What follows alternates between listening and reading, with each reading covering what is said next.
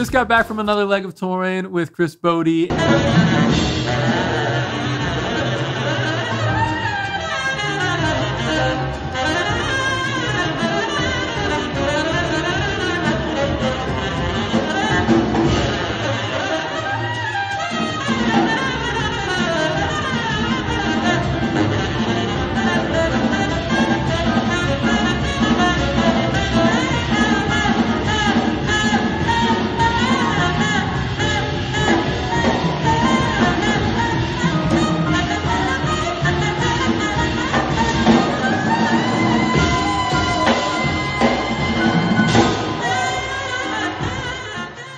Next week, I'm headed to San Francisco for another one of my residencies out at the San Francisco Conservatory.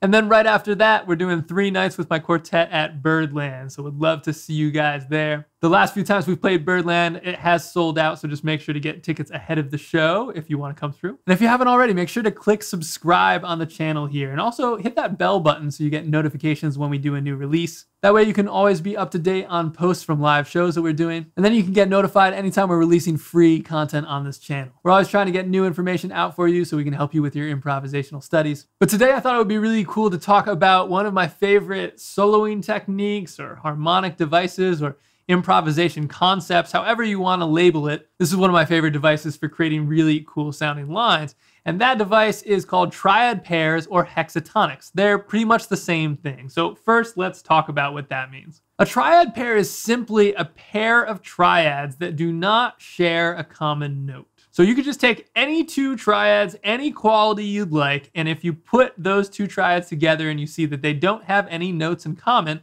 that makes it a triad pair. Now, if you were to take all the notes from those two triads and stack them up sequentially, so they go ascending and descending in order, then you will have just constructed a six note scale, which could also be labeled as a hexatonic. So that's why triad pairs and hexatonics are essentially the same thing, because pretty much any hexatonic scale you create could be actually broken down into two triads. So there are two things that we're going to consider today. One is going to be how to put together some triad pairs in order to match with certain harmony. And the other thing that we're going to check out today is going to be exercises so you can actually get fluid with these sounds and this technique. And so you can start weaving it into your improvisation. Now, this is an advanced concept, but what I always tell people is it's always very important to not overwhelm yourself and think that you can't be working on an advanced concept, even if you're a more developing player. The example that I always give is that when I was 10 years old, that's when I started working on my very first Charlie Parker solo. And all I did was one measure at a time, very slow. But it's very important to be challenging yourself to be always working on advanced material, as that is truly what's going to make you grow the fastest as a musician. So, with that in mind, let's check out this first triad pair or hexatonic exercise. And we're going to use probably the most straightforward triad pairing, which is going to be playing two major triads a whole step apart. There are going to be a few other different triad pairs that we're going to get into today. And all the triad pairs and all the hexatonic devices that we use today and everything that we check out is going to be from a new release that we just released on Jazz Lesson Videos. This one's called 16 Exercises on Triad Pairs and hexatonics for jazz musicians. And this PDF download is going to have all these exercises and all these triadic pair devices written for you in all 12 keys, ascending and descending. So you can have that sheet music as a resource if you want to get really fluent with this stuff. Now for this first triad pairing that we're going to check out today, we're going to check out two triads that are going to be a whole step apart. They're both going to be major triads. This is probably the most straightforward way of playing a triad pair. Now there are going to be a bunch of different places that you can play this triad pair that it's going to fit inside harmonically, but probably the two most straightforward places if you're going to use F and E flat, for example, you could put that on an F7 or a C minor chord. A lot of times we actually play the upper triad first because then it relates to the tonic of the chord that we're playing. So a lot of times we would actually play the F major triad before the E flat major triad. And that's how a lot of these exercises are going to work. You'll see in a second. But for now, let's just play the E flat major triad and then the F major triad so you can hear them ascending and so you can hear what it sounds like on this F7 chord. And now we'll hear that again, but we're actually going to apply it to a C minor 7 chord. So next we want to get more fluid with the sound. So the best way to do that is to practice it in cool, creative ways that mix up the shapes and directions of these triads throughout your range. So here's an example of an exercise from this PDF download where we actually crisscross the triads. So we have really smooth connections between the triads throughout.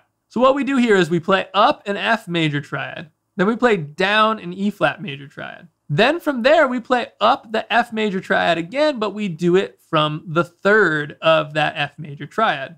The third is essentially the second note of that F major triad. So this triad ends up being an F major triad, but in first inversion. Then we play down an E flat major triad, and this will actually be in second inversion. This isn't super important, but the inversion of a triad essentially goes based off of what the bottom note is. So we see the bottom note here is the fifth, which is the third note of the E flat major triad. The greater, more important point being that throughout this exercise, you see that we're just voice leading smoothly from triad to triad by crisscrossing up and down and connecting to the closest note above where we're finishing the last triad in order to get into the next triad. So let's see what this one sounds like.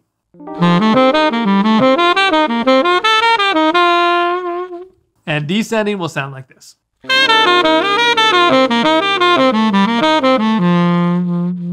So with this exercise, we end up using triplets. Triad pairs are a really nice opportunity to practice incorporating triplets into your improvising. But you can also use triad pairs in eighth note lines. There are a bunch of different ways that you can do that, but probably the most straightforward way is what we'll do next. And here what we're gonna do is we're always going to repeat one note in the triad. So if you check out this next exercise, we're gonna start on a low concert A, and this is gonna be a nice opportunity to play an exercise throughout the full range of your instrument. So we're gonna see we start on a low A, then we play C and F, and then A again on top. So what's going on here is that we've got a first inversion F major triad, and we're repeating that first note on the top in order to fit it into eighth notes. That way we're gonna be getting four notes from each triad. Now we can actually do all sorts of things with different triad pairings, which we'll check out in a second and also a different amount of groupings, which will make it really rhythmically interesting. And we'll check that out in a second as well. But for now, this is a really straightforward way to get flexible with triad pairs. And of course, you're definitely gonna wanna take this through the keys and eventually memorize this stuff through the keys. For memorization, I always recommend looking at the page for the first measure, then looking away from it, trying to memorize that by going back and forth. Then eventually, when you're ready, go on to that second measure and memorize that second measure before you then tie the first and second measure together. So you'll memorize measure one, then you'll memorize measure two, then you'll tie together measure one and two, memorizing both of those together. And that's gonna be a really helpful process as you're trying to get this stuff memorized through different keys as well. So again, we're using four notes on each triad just by repeating one note in every triad, and we're still doing that same idea with crisscrossing here and voice leading from one triad to the next. This exercise is gonna sound like this.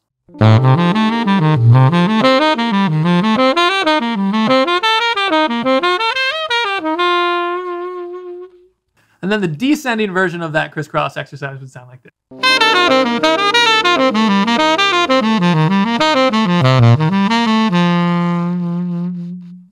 So for this next exercise, we're gonna use that triad pairing of the two major triads a half step apart. But you're gonna see here, we're gonna mix up the shape. So within the triad, we're not just gonna be going up or down, we're to start going up by jumping past the third from the root and jumping up to the fifth. Then we're going to go back down to the root via the third.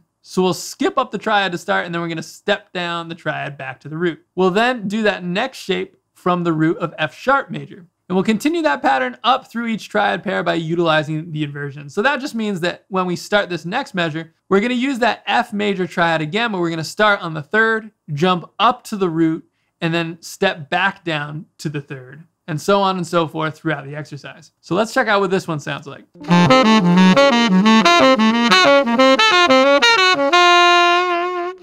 And descending will sound like this. All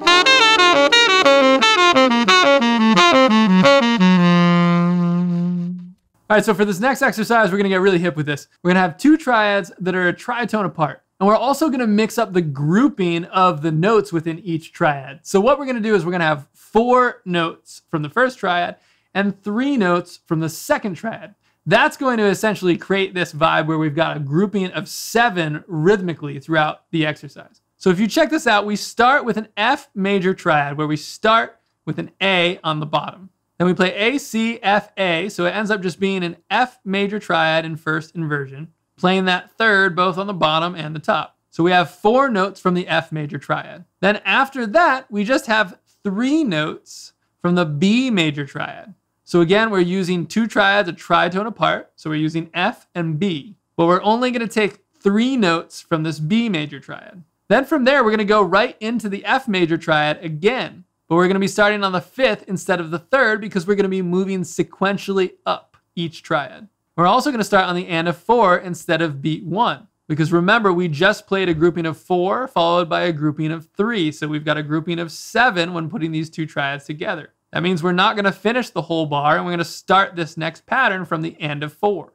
It's going to create a really interesting rhythmic effect, which you're going to hear in just one second. So from this and of four, again, we're going to play an F major triad. And this is going to be from second inversion starting on the fifth. So you'll see the notes are going to be C, F, A, and C. Then right after that, we're going to play the B major triad. Again, we're going to be going down from the root. It's technically going to be first inversion because the lowest note is going to be D sharp, so it's going to be the third. But the more important thing here is we're just going to see, again, three notes from the B major triad. So then we start the next F major triad on beat four. And so we continue this pattern throughout. So we're just taking four notes from F major, repeating one of the notes in the triad every time. And we're taking three notes from B major. This essentially creates this four, then three grouping, or a full grouping of seven. Now, a really great way to practice these triad pairs, especially when we have an interesting grouping like this, is going to be playing it with a backing track where the harmony lines up. So with this exercise, you could do it on an F7 or a B7. Either way, we're gonna have this friction created when we go back and forth between the tritones. Another option where it could create a really cool effect is on C minor. So that's what we're going to do here. And remember, we've got all this information for you written out through all the keys in this PDF download if you want to check that out as a resource.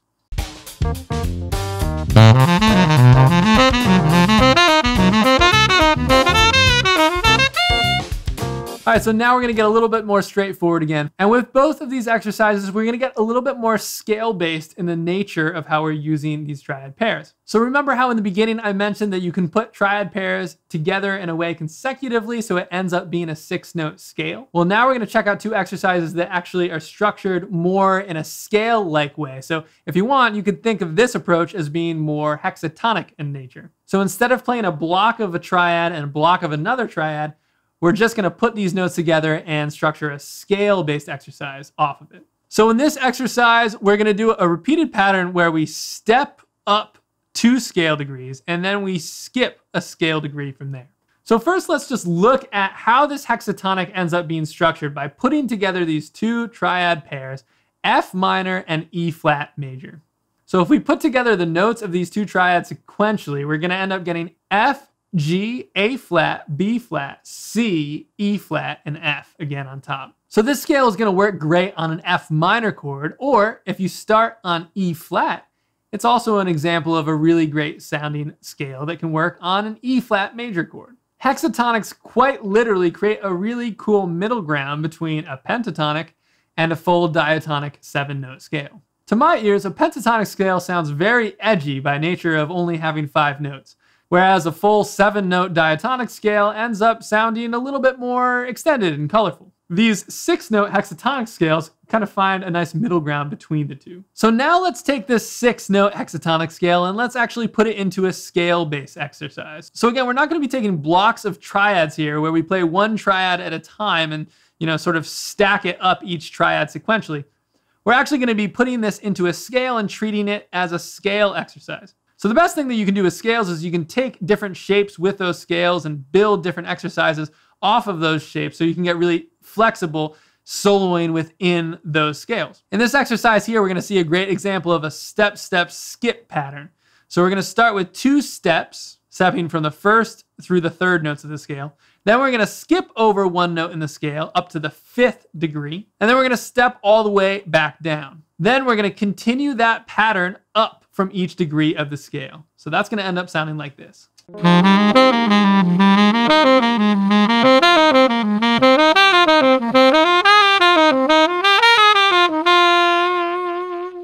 then when we do that pattern descending, it's gonna sound like this.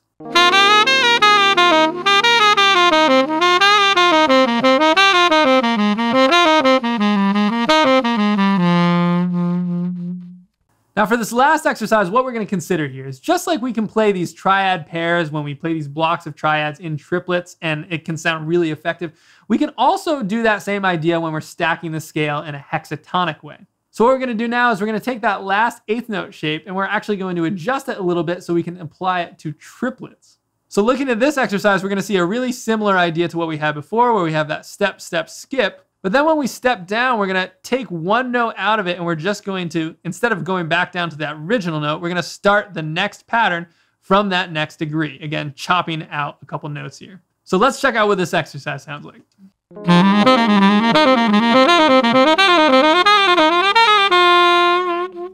And descending will turn that shape around.